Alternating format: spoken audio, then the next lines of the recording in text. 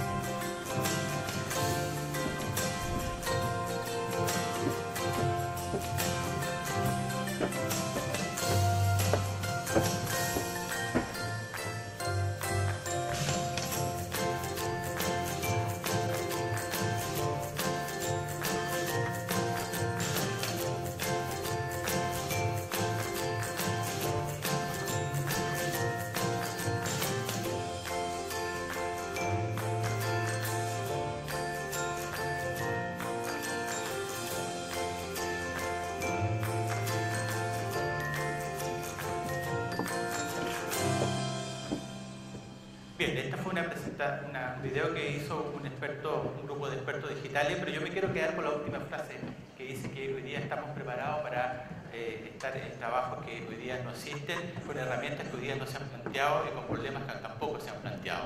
Por lo tanto, yo quisiera hacer rápidamente una, un recorrido de, día de las generaciones. Hoy día las generaciones baby boomer, que eran de los años 60-70, eh, eran aquellos trabajos que existían para eran muy estáticos, eran para siempre. Es decir, los baby boomers eran aquellos profesionales que efectivamente ellos estaban y miraban en el, espacio, era bien parcializado, bien estático.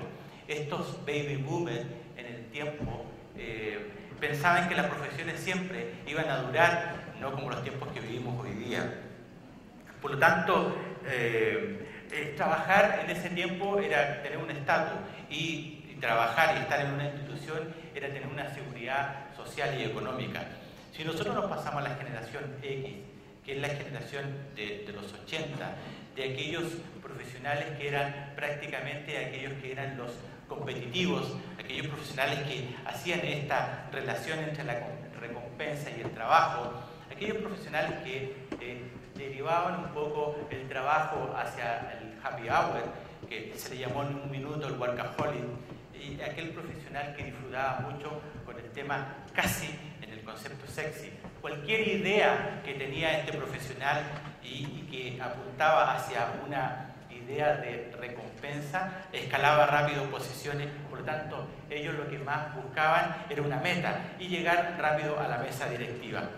Eso era nuestra generación X, la cual también en algún minuto pertenecí yo. Pero eh, nos enfocamos hoy día en, los millennials, en la generación que estamos viviendo hoy día, profesionales que están entre los 18 y 30 años. Estos profesionales son inquietos, profesionales hoy día que están 100%, 91% eh, en Chile, según estudio de la Telefónica con el Financial Times, eh, en octubre del año pasado, sacaron este estudio de las cuales el 91% son tecnológicos, el, 89% de ese, de ese porcentaje de, esta generación dice que es una barrera importante la, tecnología.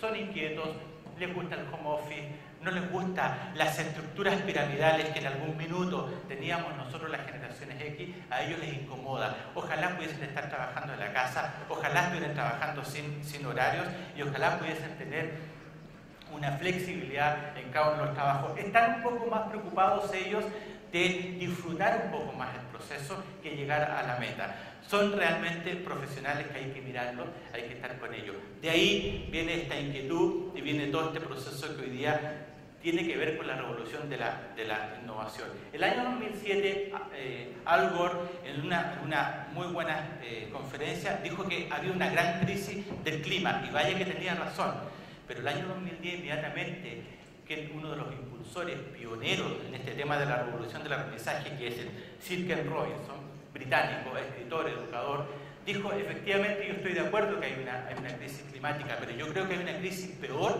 que hoy día que se llama la crisis de los recursos humanos. Y efectivamente él planteaba y decía que la creatividad es tan importante como la alfabetización. En algún minuto nos planteamos, y yo también me planteo hoy día con los clientes, con mis alumnos, con todo, siempre veo dos tipos de personas. Aquellas personas que disfrutan de lo que hacen, aquellas que no se, no se sienten haciendo otra cosa, y aquellas personas, grupos que realmente no saben por qué están ahí, no sé si están por conformarse o están siendo felices. Aquellas personas que siempre están esperando el fin de semana. Por otro lado, ¿quién ha sido el culpable de esto? Una de las grandes características y uno de los grandes motivos que ha, ha sido la educación. ¿La educación por qué? Porque tenemos que tener súper bien eh, eh, respetuoso lo que vamos a decir acá. La educación en algunas ocasiones, en algunas personas, nos ha alejado de nuestros talentos. La vida no es lineal, la vida es orgánica. Por lo tanto, eh, la educación, ¿qué es lo que ha hecho? Que nuestros talentos los ha dejado. ¿Y qué ha pasado con esto?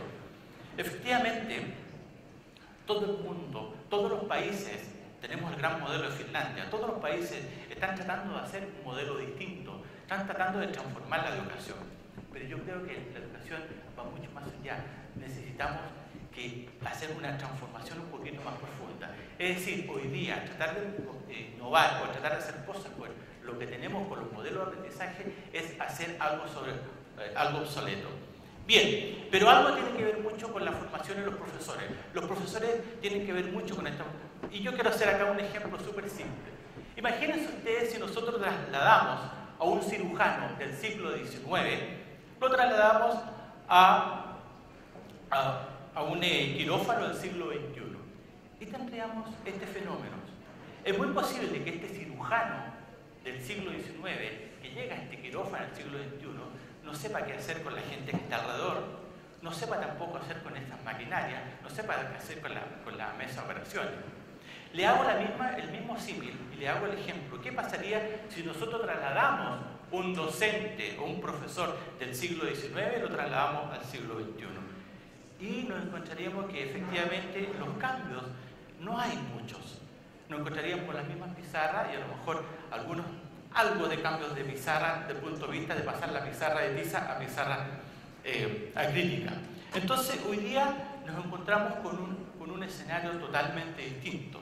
Los escenarios que vivíamos hace 50 años atrás son, son diferentes. ¿Qué es lo que está pasando en las aulas con los niños? Los alumnos, cuando entran a las aulas, da la sensación que llegan al pasado, porque las metodologías y los aprendizajes son un poco aburridos.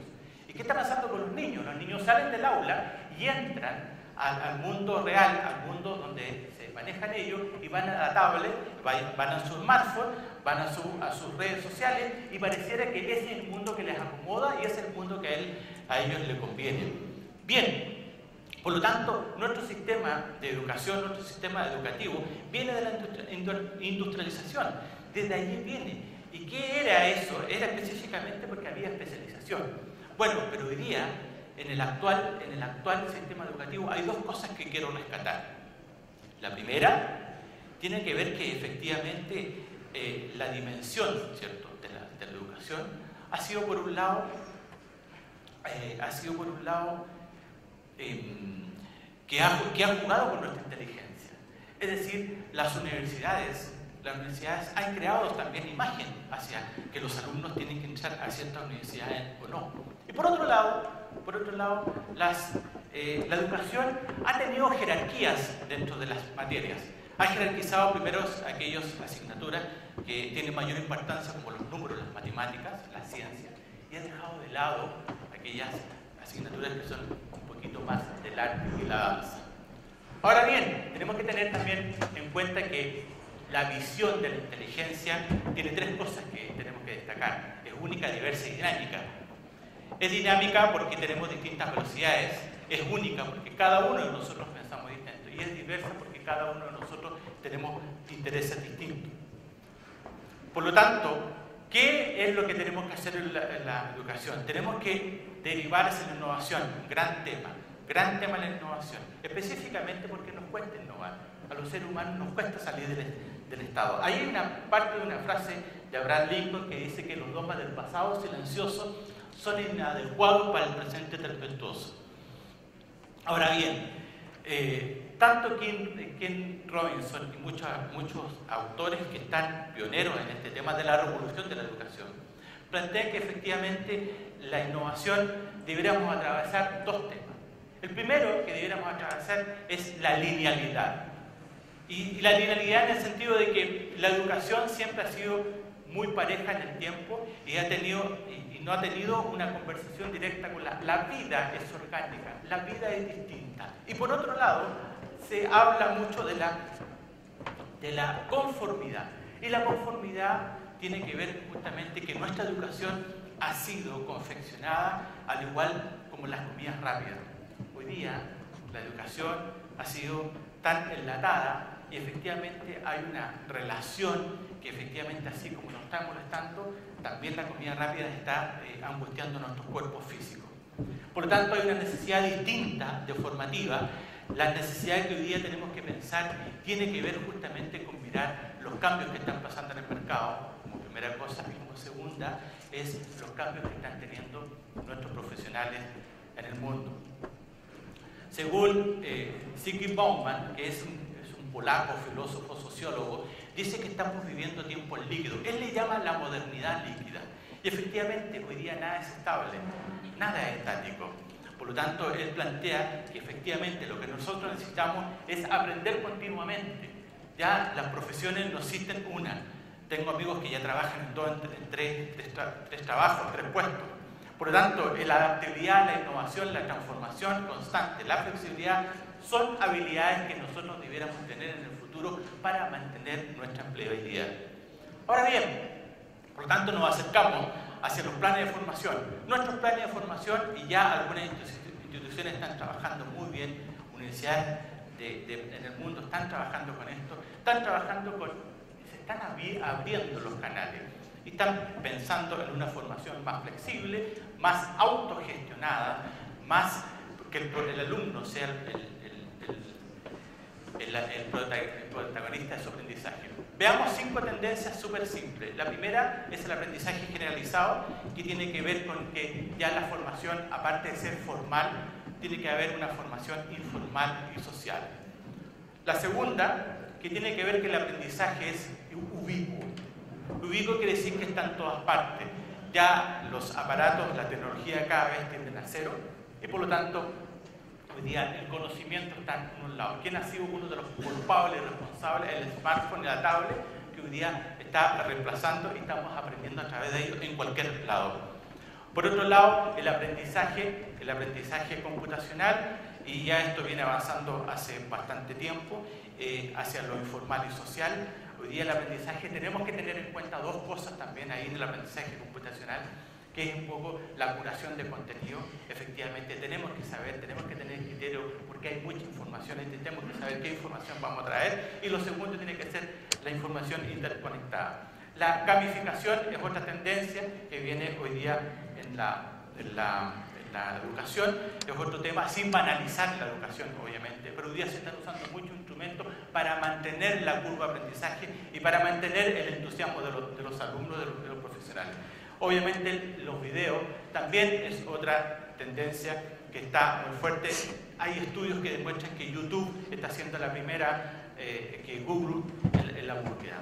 Ahora bien, yo entonces quiero, quiero concluir con estos últimos tres slides. Primero, estamos en presencia de, una, de, una, eh, de un conocimiento, un aprendizaje ubicuo, lo vamos a tener en todo, está al alcance de todos, ¿cierto? Por otro lado, el poder ya en la institución del profesor. El conocimiento ya no le pertenece al docente. Hoy día los alumnos están llegando más preparados a las aulas y tienen la posibilidad también de compartir información real a través de su tablet y poder compartir información con ellos. Ya no lo pregunta mi papá, Antaño le preguntaba, a mi papá por el conocimiento, hoy día mi papá es Wikipedia, es Google o, o otros medios sociales. Por lo tanto, puedo participar, puedo colaborar. ¿Qué, está pasando, ¿Qué ha pasado con los hechos disruptivos? El año 2015, efectivamente, cuando nació la imprenta, eh, ya el conocimiento que le pertenecía a algunos le empezó a pertenecer a varios. En el siglo XX, hoy día a través de, las plataformas tecnológicas, pues el cambiar, el profesor tiene un rol distinto. Estamos hablando de un docente que tiene que derivar hacia el 2.0. La, la información ya no le pertenece, en fin. ¿Qué es el profesor 2.0?